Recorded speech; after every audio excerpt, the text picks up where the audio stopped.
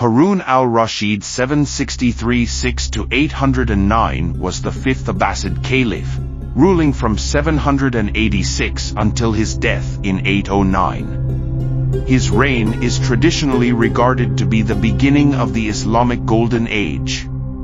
His epithet al-Rashid translates to the orthodox, the just, the upright, or the rightly guided. Harun al-Rashid was born in 766 CE in Ray, Iran. His father, al-Mahdi, was the third Abbasid Caliph. Harun was groomed for leadership and received an excellent education in Islamic theology, law, and literature. Harun was a capable administrator and a skilled diplomat. He expanded the Abbasid Empire and made it one of the most powerful in the world. He also encouraged trade and commerce, and Baghdad became a major center of learning and culture.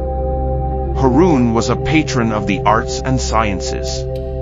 He supported poets, musicians, and scholars. He also founded the Beit al-Hikmah, or House of Wisdom, in Baghdad. The Beit al-Hikmah was a library and research center that became one of the most important centers of learning in the world. Harun is also known for his legendary generosity. He is said to have given away vast sums of money to the poor and needy.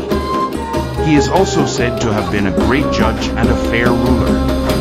Harun al-Rashid died in 809. He was succeeded by his son, al-Amin. Harun's reign is often seen as a golden age of the Islamic world. It was a time of peace, prosperity, and cultural achievement. Harun al-Rashid is a popular figure in Islamic history and culture. He is often portrayed as a wise and just ruler. He is also a popular character in literature and film. The 1980s television series The Adventures of Sinbad features a fictionalized version of Harun al-Rashid.